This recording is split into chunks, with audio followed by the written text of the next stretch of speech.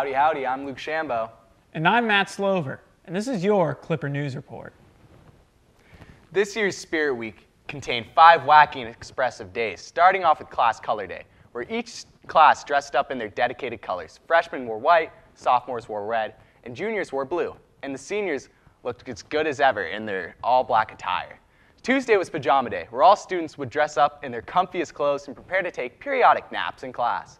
Wednesday was America Day, where students dressed up in red, white, and blue, or even American style clothing, where there was no shortage of patriotism. On Thursday, we had Prep Day. Finally, on, the, on Friday, we had the Pep Rally, where students dressed up in their school colors and came together to celebrate our school's accomplishments and partake in some mildly friendly competitions. I'm nothing short of ecstatic to announce that your senior class was deemed the winner in the Most Spirited Class contest. We got all the highlights from this year's, spirit, this year's pep rally. We can't wait to show you them. 2019 Spirit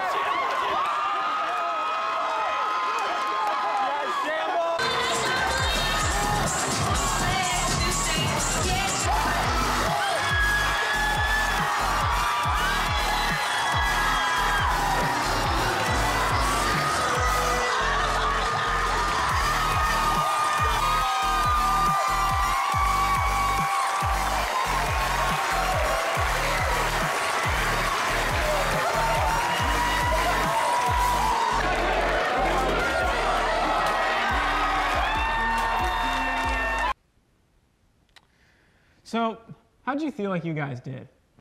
Oh, we won the pep rally, Matt. I, we did amazing. We had probably around 20 kids in our paint crew alone, but kind of, where, you, ah. where was your paint crew at? Yeah, no, so we obviously didn't do too well, but senior year, we're coming. What would you do with $50,000? Well, I'm not sure, but David Lilly, our local auto teacher, has recently been awarded for his teaching accomplishments, not only in the classroom, but in national competitions as well. We headed down to the auto department to get all the info.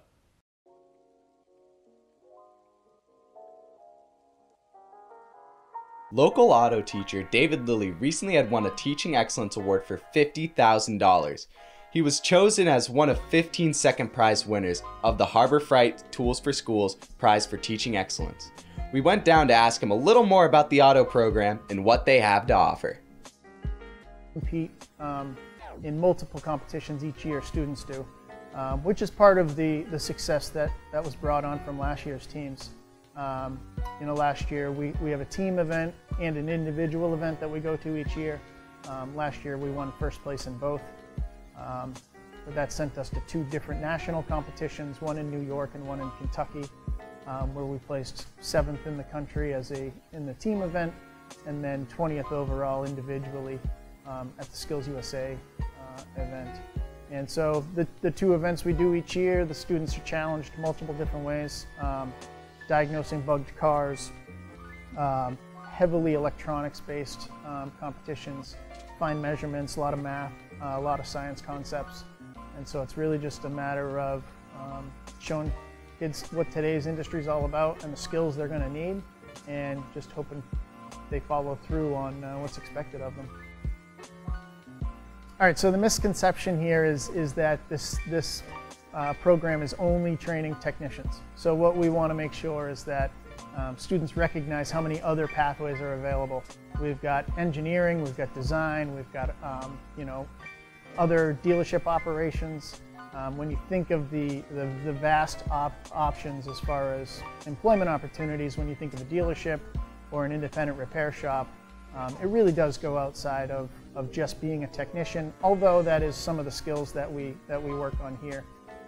So as far as the engineering goes, if you want to improve something or design something, you certainly have to understand how it works. So we do um, uh, work a lot of those operations and, and again the math and science principles into our content uh, to make sure that that pathway is uh, uh, an easy transition into post-secondary. So any potential incoming students, you know, what they should know about our program is that the automotive industry right now is a, is a high demand, high wage industry. There's no doubt about it. Um, they are an industry right now that has put their money where their mouth is uh, with the amount of scholarships they give out, um, with, the, with the pay that they're giving uh, new technicians and the training that's available. And uh, the post-secondary programs right here in the state um, are really, are really top notch. So we're trying to make sure that students see what's available to them, uh, how, how wanted they are and how in demand they are. And um, hopefully it sets them on the right path to uh, making some money and having a great career. Now, Matt, what would you do with $50,000? I'd travel the world. Travel the world with $50,000? You know what I would do? I would get one of those new Tesla Cybertrucks. I know people have been talking trash about them, saying they look ugly, but I like the design. I like how they look, okay? All right. All right. In our lives, we are sometimes faced with dilemmas that we have to choose on a dime. This week, we went out to the hallways to see what you prefer and what you are th- most thankful for this Thanksgiving season. All right, Ty. Netflix or Hulu? Hulu. Oakhurst or Hood? Hood. Cats or dogs? Dogs. Coke or Pepsi? Coke. What are you most thankful for? What are you around these times, around these holidays? What are you most thankful for? You know, I guess friends, family, and, you know, being able to go to school and get a great education, you know. That's it right there. TV shows or movies? TV shows. TV shows, Netflix or Hulu? Hulu. Netflix, Coke or Pepsi? Pepsi. uh, neither. Cats or dogs? Dogs, man. Dogs, And what are you guys most thankful for on in the holiday season? What gets you? Um, music. my friends and my family. Very good. All right. TV shows or movies? Uh, movies. TV shows. All right. Coke or Pepsi? Uh, neither. Coke. At Hulu or Netflix? Netflix. Hulu. Cats or dogs? Dogs. Dogs. And what are you most thankful for during this holiday season? Uh, family. Christmas music. Oh, that is good. Wait, wait, wait. What is your favorite Christmas song? I don't want a lot for Christmas. That one. Uh, wait. Mariah Carey? Like that one's not like that's a no-brainer, man. Like. okay, Ryan. Cats or dogs? Dogs. Coke or Pepsi? Lemonade. All right. Threw me off. Hulu or Netflix? Netflix. TV shows or movies? Uh, TV shows. And what are you most thankful for with this upcoming holiday season? My family and Donovan Fate. Okay. All right. All right. Coke or Pepsi?